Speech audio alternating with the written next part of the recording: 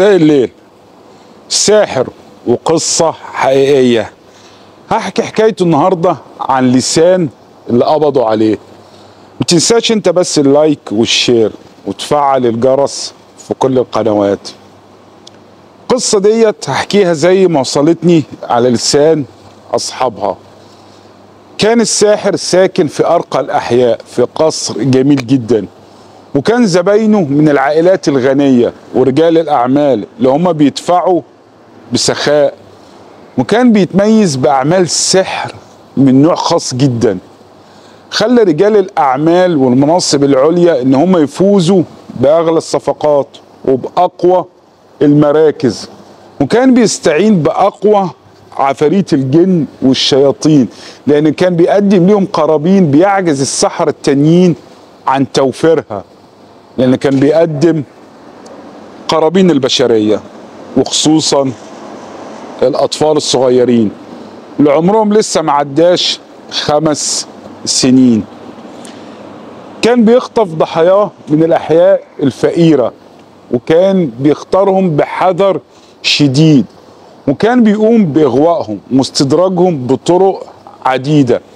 وبرضه شكله كان بيساعد في كده لأنه كان شكله شيخ محترم بتبدو عليه علامات الوقار والبراءة التامة وكان بيشيل ضحاياه بعد ما ينيمهم في عربيته الفارهة وبينقلهم للقصر بتاعه وهناك كان بيضع الطفل في غرفة خاصة جميلة جدا فيها كل وسائل الراحة وكل أنواع الألعاب ووسائل الترفيه. هناك كان الأطفال بيستمتعوا بالوقت من غير ما يعلوا صوتهم أو يصرخوا أو أي حاجة ومن غير ما يتوقعوا مصيرهم. وكان دايما بيحرص إن هم يكونوا في أحسن حال وصحة لغاية ما يجي زبون ويعرف منه نوع العمل اللي هيقوم بيه وأي جزء بشري هيحتاجه. هنا كان بيقوم بذبح الطفل وياخد منه الأجزاء اللي هيحتاجها بطلب من الشياطين. ويحتفظ بالباقي. في تلاجة ضخمة سابها للحاجات ديت عشان يقدر يستخدمها في أعماله الجاية. في يوم من الأيام قامت مجموعة من الشرطة والجيش بمهاجمة منزله وقبضت عليه وعلى كل الموجودين جوه البيت. بيقول المسؤول عن المداهمة ديت إن القصر كان فيه غرف كتيرة جدا وكل أوضة أو غرفة كانت أغرب من اللي قبلها. بيقول فتحت باب, باب الأوضة الأولى لقيتها مليانة بكل الفئات النقدية بكل أنواع الفلوس والعملات وجواهر وذهب حاجات تسحر العين دايما. رحت بعد كده للأوضة التانية مليانة بنات جميلة جدا. أعمارهم ما بين 16 18 سنة كلهم لابسين أسود في أسود. رحت للغرفة التالتة. هنا بيقول الظابط دوت ندمت إن أنا دخلت بصيت جواها. كانت عبارة عن تلاجة كبيرة. جواها عدد كبير جدا من الأجزاء البشرية. تقريبا حددناها إنها ترجع ل 160 طفل. كان المنظر صادم جدا وبيقول أصابتني كوابيس أيام كتيرة جدا.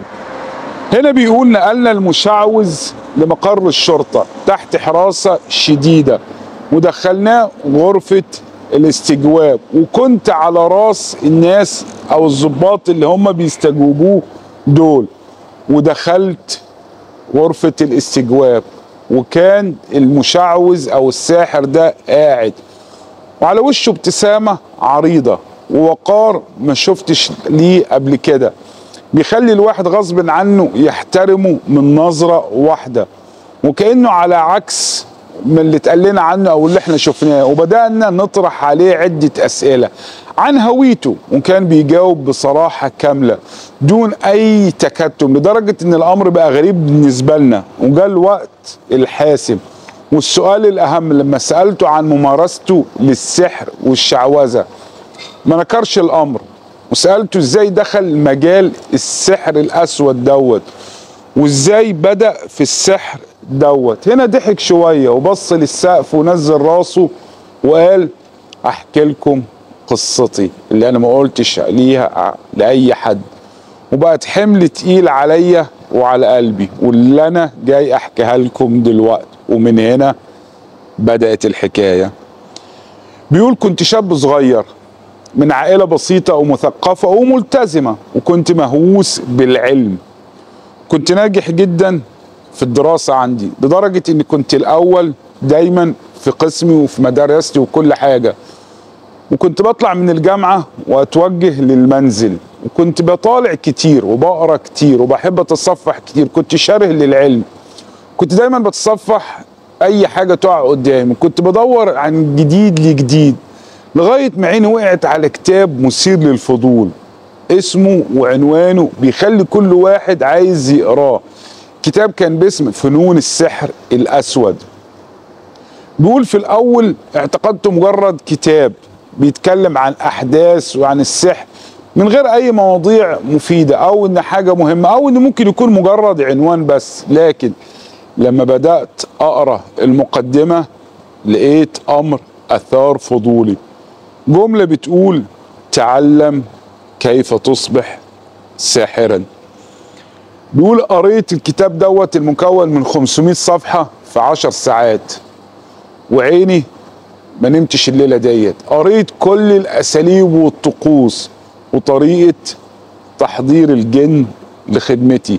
وإزاي إن أنا ممكن أبقى ساحر حقيقي وساحر كبير معروف بيقول فضولي وطيشي وحب المغامرة عندي خلاني أفكر جديا. إزاي أستخدم الكتاب دوت؟ وإزاي أجرب اللي في الكتاب دوت؟ اللي كنت لسه لحد دلوقتي بشك في مصداقيته. هنا بيكمل بيقول كانت تعليمات الكتاب واضحة جدا. بتقول إن لازم أعتزل الناس في مكان بعيد وخالي من أي حياة. ده أول الشروط اللي لازم أعملها. عشان أباشر أول طقس من طقوس السحر والشعوذة. بيقول فعلا رحت لمكان بعيد وخالي من أي حياة عشان أبدأ أول طقس من طقوس السحر. كان آخر يوم أشوف فيه عيلتي من يومها للنهاردة. هنا بيقول رحت المنزل مهجور معزول. المنزل دوت كان ما يعيش فيه غير التعابين بس. والمكان اللي كان مكتوب في الكتاب إنه لازم يكون مكان قذر ولابد إن أنا ما ألمسش المية أو أغتسل لمدة 40 يوم. وبدأت أحضر الطقوس ديت وأخدت أقرأ من صفحات الكتاب. تعويذات خاصة بتحضير الجن. الكتاب كان مقسم لأبواب.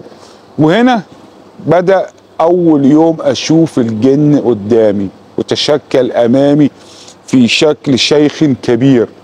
خفت منه أول الأمر واصابني رعب شديد وقعد يكلمني عن أشياء إن أنا مثلا هربح الكتير وإن من الشغل معاهم وإنهم هيوفروا لي حاجات كتيرة كنت بحلم بيها وقال لي إن هو كمان هيخلي مجموعة من الخدم الجن لخدمتي وإن كل اللي عليا بس إن أوفر لهم الأكل بالمقابل. وفهمت من كلامه إن هم هيقدموا لي خدمات مقابل خدمات مني. مفيش حاجة ببلاش. وعدت أربعين يوم بتوع الخلوة. ورجعت المدينة. واغتسلت. وقصيت شعري. لكن احتفظت بدقني. وكنت هبدأ عملي كساحر. وكانت بدايتي من بيت. البيت دوت قدام مسجد في وسط المدينة اللي أنا ساكن فيها. أجرته وكنت بدخل يوميا المسجد وأصلي مع الناس لكني كنت بصراحة ما بعملش كده. كنت بروح الحمام وأنجس نفسي بدل الوضوء وكنت أتجه للصلاة. وأتخيل الشيطان قدامي. لأسجد له بدلا من الله سبحانه وتعالى. وبدل ما أقول الله أكبر كنت بحيي الشيطان. وده كان أول شرط من شروط إن أنت تبقى ساحر. هو الشرك بالله. هنا بيقول بقيت معروف وسط المصليين والناس باخلاقي العالية وبمحافظتي على الصلوات كلها والصلاة في جماعة كمان وفي الصف الأول. وبديت أعرض خدماتي. على الناس على أساس إن ربنا سبحانه وتعالى إداني حكمة وقدرة وخدمة من الجن قادرة على مداواة الناس وبدأت الناس تتوافد عليا واندهشت من شدة انجذاب الناس للحاجات ديت وكانوا بينجذبوا ليا بسرعة وبسرعة بقى ليا شعبية كبيرة وبديت أطور من شغلي. هنا كان لازم إن أنا أغير مكان إقامتي. هنا عرض عليا واحد من زبايني مكان في إحدى الأحياء الغنية الراقية وهناك اتنقلت لمستوى تاني وبدت وفود من رجال الأعمال والفنانين تجيلي غيرت مكان إقامتي وكانت بداية خير عليا الكل بدأ يتوافد عليا واتنقل عملي لليفل تاني أرقى وأعلى وأكثر فلوسا. وبقى عملي متقن جدا. كنت بطلب فلوس كتيرة جدا مقابل خدماتي وكان بيلبوها لي بدون أي اعتراض لغاية ما زبايني كلهم بدأوا يثقوا فيا أكتر وأكتر. وكانوا كلهم من أصحاب النفوذ وكان عندي ولع شديد بالبنات. فبقيت أشتري بنات من عدة بلدان بره وكانوا بيساعدوني في عملي مقابل الخدمات ديت. وصار الجن يطلب مني القرابين البشرية. كانت صعبة. وكده انتقلت من ذبح الديكة والقطط والكلاب للأطفال. في أول الأمر كنت بجيب جثث الأطفال الموتى حديثا من المقابر. لما كانت حيث كانت تأتيني ديت المعلومات دي من مساعدين ليا من معارفي. كنت بدخل المقبرة في الليل وكان الجن بيدلني على مكان القبر علشان أنبشه.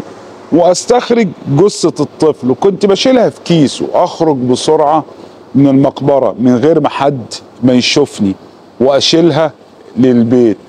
وفي يوم من الأيام وقعت دي حادثة غريبة. هناك شفت واحدة ست كانت شغالة في نفس مجالي في المقبرة موجودة.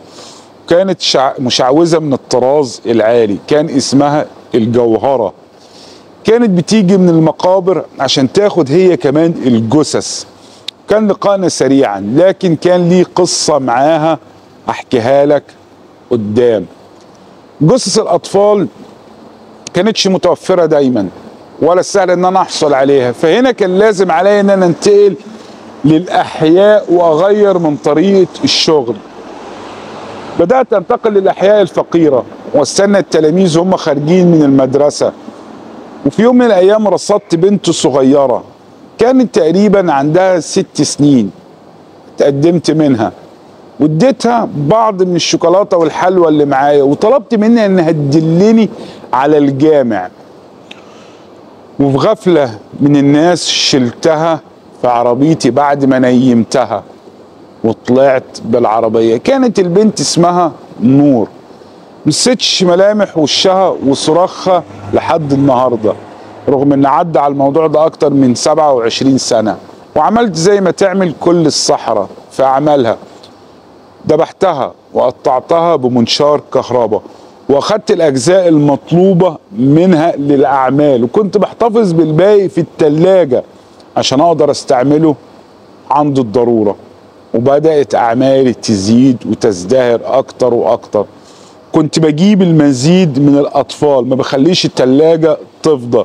هنا لازم الأمر إن أنا أنقل لمكان تاني فاشتريت القصر ده في نفس الحي وبنيت غرف خاصة لكل حاجة لدرجة إني وضعت غرفة خاصة للأطفال اللي بخطفهم. تتوفر فيها كل شيء من وسائل الراحة عشان محدش يعمل صوت أو مشاكل. والأطفال الاوضه دي كانت بتعجبهم وكنت بوفر لهم كل أساليب الراحة لغاية ما يجي الوقت. الاستعانة بيهم وقت التضحية بيهم. كان زبايني بيطلبوا مني طلبات غريبة اللي عايزني أساعده في الفوز بصفقات واللي عايزني أساعده في الانتخابات أو إن أنا أخرج أولادهم من السجن أو الجواز. وبقيت عندي فلوس كتيرة جدا لكن فضولي خلاني أزداد أكتر بالمجال دوت. فكنت عايز أتعلم كل جديد منه وشفت وقتها العالم بمنظور تاني. شفت إزاي بيجري الناس ورا الشهوات وازاي ان هم مستعدين يدفعوا مبالغ كبيرة مقابلها كمان. حبيت ان أنا اتعلم أكتر وأكتر. هنا قررت ان أنا أروح لمنزل الجوهرة اللي أنا قابلتها قبل كده. الجوهرة دي أكبر مني بعشر سنين وأكتر خبرة مني. كان لقائي أول مرة معاها مثير جدا في البيت ورحبت بيا. وقعدت تحكي لي إزاي دخلت عالم الجن. كانت قصتها عادية جدا عايزة تتعلم عن طريق واحدة وطلبت منها إنها تعلمني أساليب معرفهاش ووافقت بكل سرور. كان عندها جن اسمه شهباص شهباص دوت كان بيجيب لها كل الأخبار وكل الأحداث الجديدة لحظة بلحظة. وكان بيتشكل أمامنا في صورة فتى صغير أسود اللون.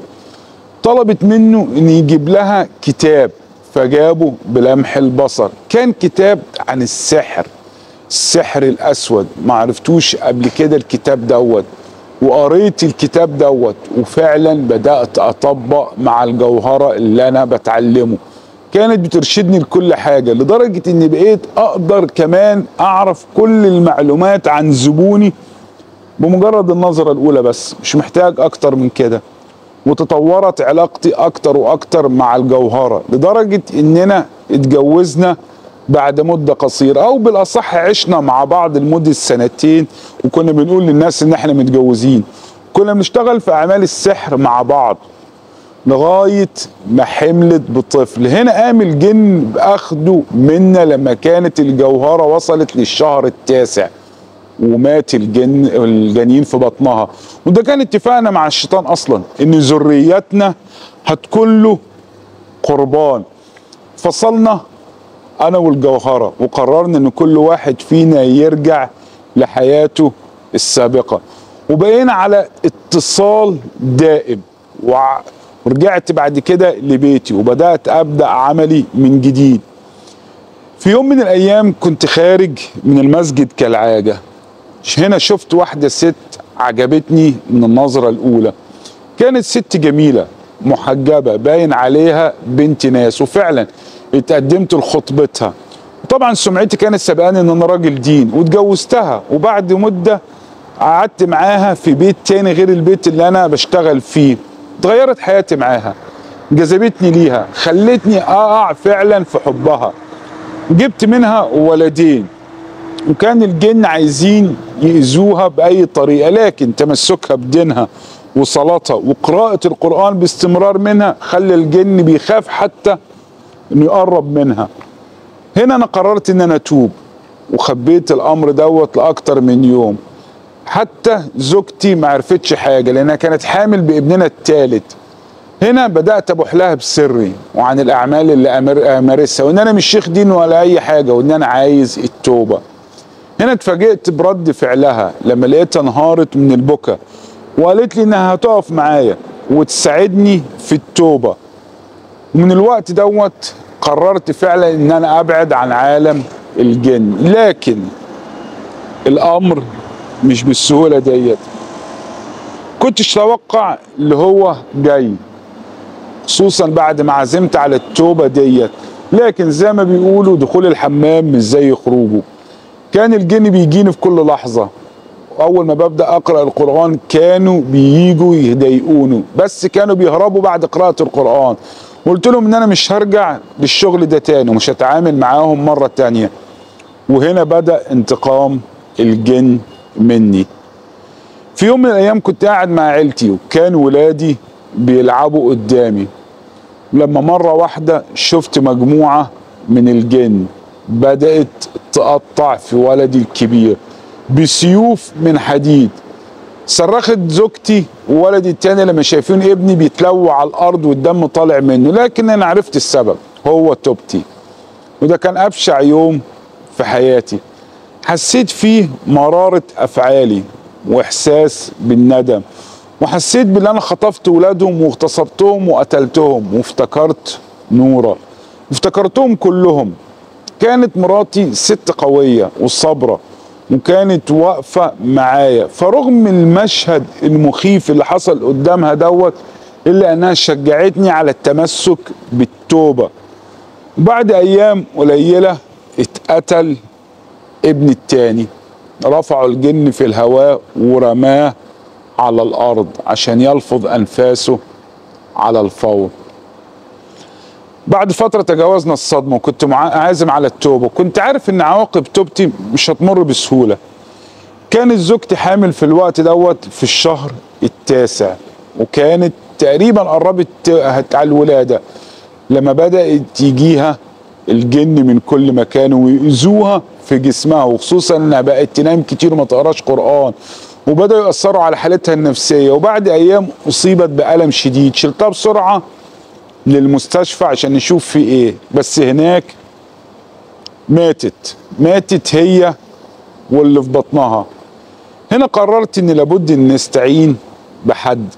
فسجلت فيديو باعترافي ليكم مع صور تؤكد كلامي وبعت لكم أنتوا كشرطة. على امل تيجوا وتقدروا تخلصوني منهم. كان الضباط بيسمعوا باستغراب واستعجاب للاعترافات ديت. فهم فعلا هجموا على القصر ده بناء على فيديو اللي اتبعت لهم. بس كعادة رجال الشرطة في كل مكان ما بيصدقوش الكلام ده أو ما بيقتنعوش بالكلام دوت ووجهوا له تهم ما بين قتل واغتصاب ونصب. متحكم عليه بالإعدام ضربا بالسيف حسب شريعة البلد ديت. ويوم تنفيذ الحكم حصل شيء غريب رواه السياف المنوط بتنفيذ الحكم اللي قال إنه عادة بيستخدم سيف جديد كل أربع أو خمس حالات إعدام لضمان الجودة. والسيف من مواد مخصصة حد كافية إن ضربة واحدة تفصل العظم عن اللحم. ويوم التنفيذ كان بيستخدم سيف جديد أول مرة يستخدمه. لكن الرأس ما انفصلتش بالضربة الأولى زي ما تكون عندت معاه. وخرج دم أسود رائحته كريهة جدا لدرجة إن الموجودين في ساحة القصاص غطوا أنوفهم بسرعة. هنا بيقول عجلت بضربة تانية بسرعة ألقت الرأس بعيدا عنه. وبمجرد ما اتحط في القبر بيقول إنه اتردم عليه التراب تفاجئوا بكمية خنافس وصراصير ضخمة جدا على الجثة. لغاية هنا خلصت القصة اللي أنا اتروت لي أتمنى إن هي تكون عجبتكم وإن أنتوا تاخدوها للعظة مش أكتر من كده.